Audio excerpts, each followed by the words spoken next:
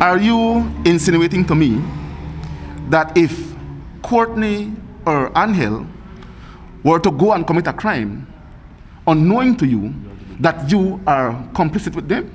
If that, if that is a test we will use, Jules, then we're surely up, I don't want to say what kind of creek, but at the end of the day, we need to, to be real and we need to be true to ourselves. If it is that there is any evidence to suggest that any police officer involved, regardless of their rank, they will be dealt with. Period, full stop. But at the same time, if there is none, then we cannot.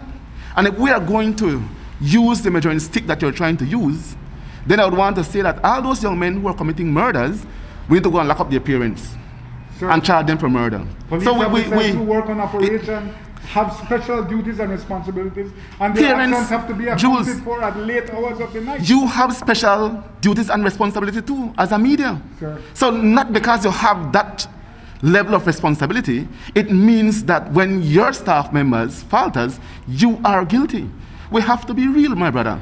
And at the end of the day, those persons you speak about, they are not primarily the persons who would normally respond to plane landings. And Mr. Greenwich would tell you, having been at Jack for many years, when it comes to plane landings, it is normally Jack who coordinates the movement and deployment of police officers. And uh, in the rarest of circumstances, those individuals would be a part of any response team to plane landing.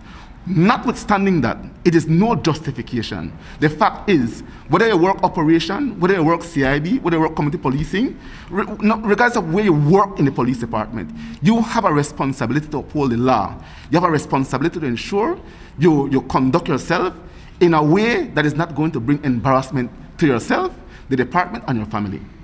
And when you go contrary to what is expected of you, or contrary to the rules that governs our department, then you must face the music.